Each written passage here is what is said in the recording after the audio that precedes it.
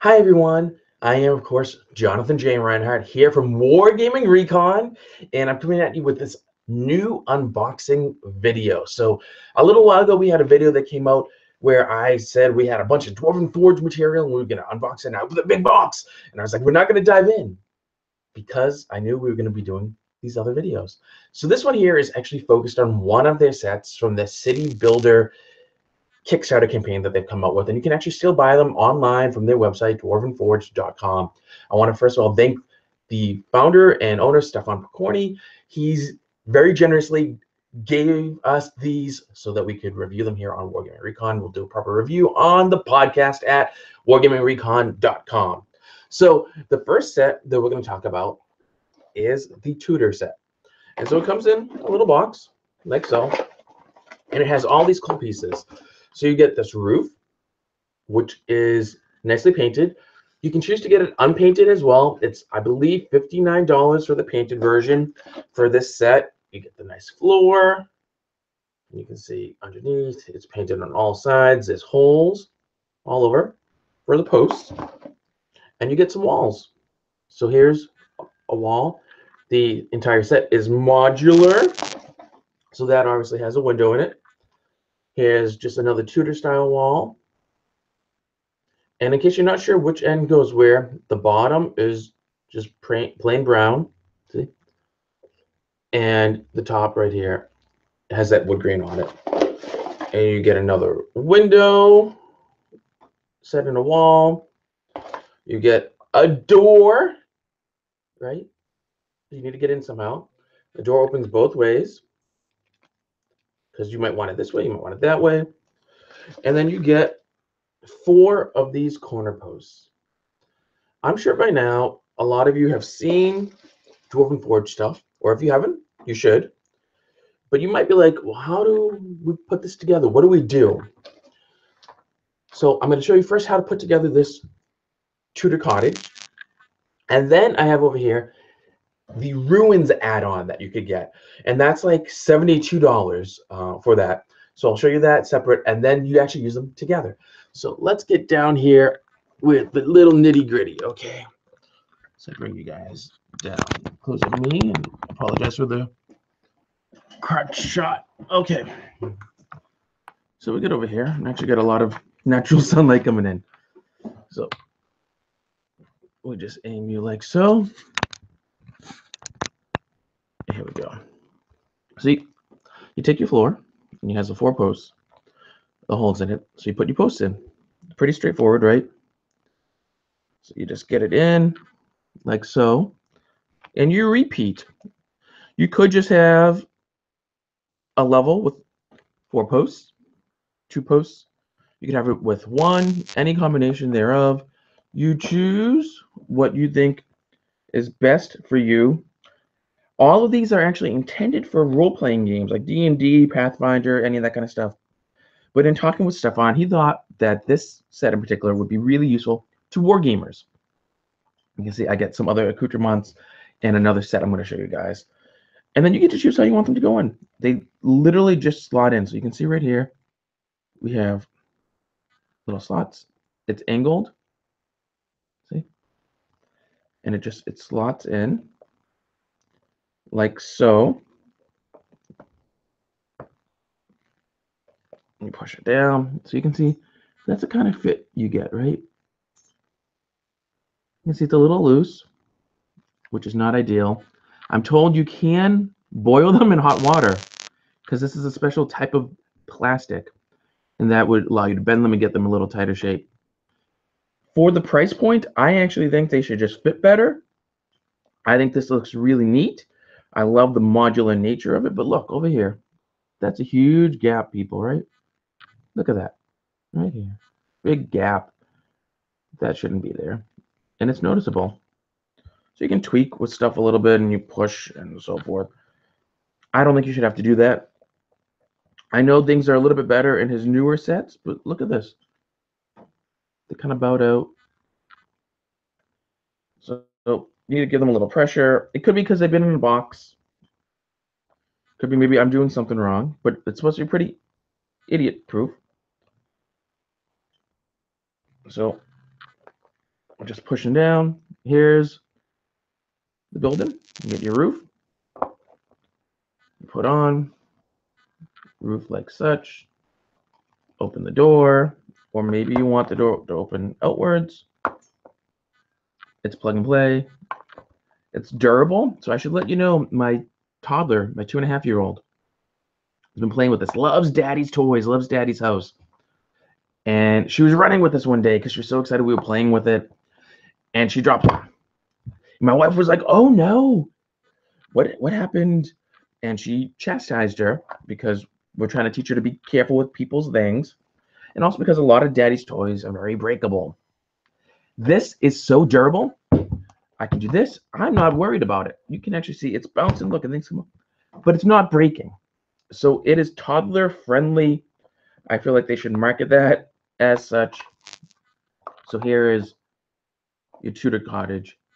You notice it's kind of stepped up from the bottom, and that's because it's intended to work with their roads, which will be in another video. And then an add-on you can get is here is the ruin set. So let's pull this out. Everything's nicely packaged because I haven't really done much with it. It comes with a lot of pieces, a lot, a lot of pieces, and that's why it's 79 bucks. And There's a look at this. I got this pile growing and growing, and these are all from this ruins. So you need the Tudor cottage or some other Tudor sets or building sets from City Builder to use these. You could use them, some of them anyway, by themselves. Look at this. I got this growing pile of Dwarven Forge here. It's a lot of stuff. And when you first look at the price and you're like 79 bucks for ruins, what the heck is that about? And I need other stuff. But I tell you, this is beautifully painted. And you got this mound of stuff here. So you get a lot of pieces. You get floors here. Actually, yeah, these are floors. So depending on how tall your building is, you can align them differently. Got another floor here. You got these half walls, which I know you can then um, put together actually with some of these other pieces to create different configurations for whatever you like for the wall. And stuff is supposed to fit in pretty decently. So you get a bunch of these half walls right here. Look at this. That's a lot of half walls. We'll use them with the set in a minute. We got these nice big posts. So they plug into the holes. They can plug in even here. Once I find the right hole. The more you use it, the easier the stuff goes in. But you see right here, look. And I got this. And I've added a new dimension to it. So you can actually use this on the ground. Right? And just put this out. And you have your figs. And that's what's left of the building. You have that on the area. So we get those corners. We got these half wall pieces. There's a bunch of those. You get another half wall. The roof, this is gorgeous.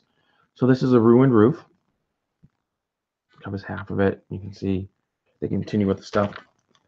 Comes with these, which are flames. And I wasn't quite sure what you do with them until my toddler got at them. And you get these that have magnets. And I was like, okay, they're magnet, but what am I supposed to do? So here's your Tudor house, right? Let's say you wanted to start it being on flames. Caught on fire, it's going to be ruins. Take one of those, and it fits nicely into the windows. You could fit it into a door. They are more ideal for the windows. So you just plug them in, right? And that adds a little bit more character. Oh no, the house is on fire. What are we to do? My toddler discovered this. She's playing with them because she's a two and a half year old. They're all babies. She's obsessed with babies. There's baby dolls and all that. And so the the people, the babies, which are the flames, wanted to go in and out of the house. And she happened to take one of these that has the magnet and she put it on the roof. And I was like, wait a sec, that's magnetized? I didn't even know that was magnetized. So you can put it anywhere on the roof. It's magnetized. I think are the floors? No, the floors are not, but the roof is magnetized. You can do, and this is great. It adds extra playability to it. Then let's say you want to play around a little bit more. Here's a house standing, but the roof was all gone. Now this roof is not magnetized, which is unfortunate, but it's a ruin, so you can see here. Or maybe you want to be a little crazy. That whole wall is burnt out. Let's say you're going to be really crazy and you put in the stud in. Let me find a more appropriate one. Like so. So I put the post in, it's ruined, and you can see on the inside, it still has right here, look, slots for you to put things in, so it matches that. I can put a ruined wall in. We'll just slide that in, like so, or as such. It shouldn't really matter. The fit with these is a little finicky. That's my main problem with the Dwarven Forge stuff, but it looks nice and you can forgive a lot. So you can have this as a ruin uh, for your war game. You just put it out. You don't need its roof or the fancy stuff. You don't need the flames, nothing. Just put this out. Maybe this is all you got. This is very World of Warcraft, but you could have it be on your table as such. This is what's left of the building. Maybe you happen to have just a bit of a wall here. You don't have much. Maybe here's another post. And that's what's left. So it's completely modular. You can even do with just partial walls. And I'll put a another post in just for a little more stability.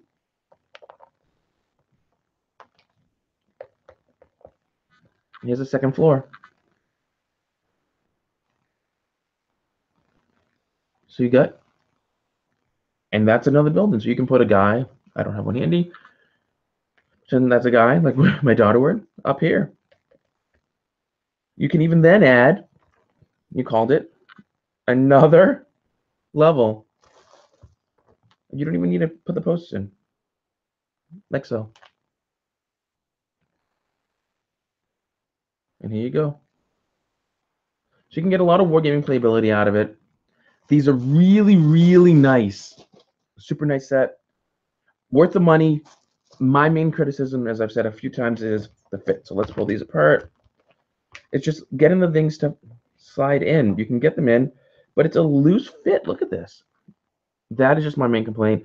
And I think it's just part and parcel. I know other people who've had these have talked about this issue and they've said that what they've done is they boiled it in water. It's not something I'm going to do. I will live with it. But if you want to get them, be mindful of that. And I should also say that we will have Stefan Pokorny on the podcast, wargamingrecon.com in 2018. So you should look for that in our podcast feed and subscribe to us on all the places you get podcasts. So thank you for watching this video. I apologize for being nasally. I got a respiratory thing going on and I'm asthmatic, but just part and parcel. And I really, I'm so excited. I wanted to get into this with you. I can tell you, I'm going to be playing with this. I love this. I think it looks really good. And I'm actually going to have another video coming out where we're going to show you the stone building set. It's a cottage, but made out of stone instead of the Tudor style that you get with this. And everything's interchangeable, which is really neat. So you can build multi-story stuff and you can just put it all together. And cleanup is a breeze because look, I just got this pile right here. And that is cleanup. And I just put it in boxes. They show you pictures of what you got. And you're done. So, as always, thank you yet again for watching this video and taking the time to spend with us here at Wargaming Recon. So, you know the drill. No matter how busy you are, no matter what's going on in your life, you know you gotta, you have to, you need to keep on gaming.